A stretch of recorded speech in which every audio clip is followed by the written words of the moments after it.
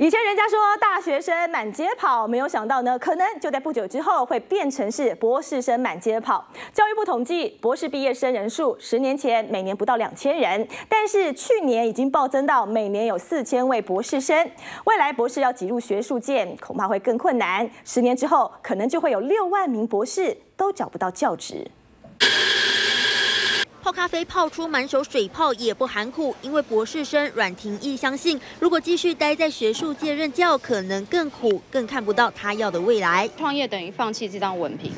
因为这张文凭给我的工作机会会是在可能是在学术界或者是呃生意行业，太专业的确是会造成一个人的限制了。博士文凭不再吃香讨好，教育部长吴思华更直接警告，十年后会有六万名的博士生毕业后挤不进学术窄门，因为一年五千名博士毕业生，有三千五百名都渴望就业，但其中只有五百名抢得到大学教师职缺，其他的都得另辟出路。比较有多元的一个发展会比较好，而不是单单一的，就是培养了博士就是要当老师，这个是